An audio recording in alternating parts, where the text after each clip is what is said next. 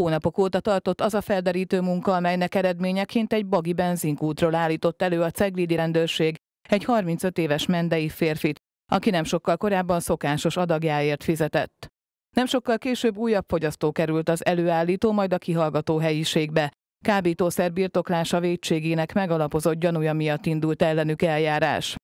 Az elfogás és a bűncselekmény sem a Ceglédi rendőrkapitányság illetékességi területén történt, így megkerestük a Ceglédi járás vezetőügyészét, akitől azt a tájékoztatást kaptuk. A Pest megyei rendőrfőkapitányság jelölte ki a Ceglédi rendőrkapitányságot, az eljárás felügyeletére pedig a Pest megyei főügyészség a Ceglédi járási ügyészséget.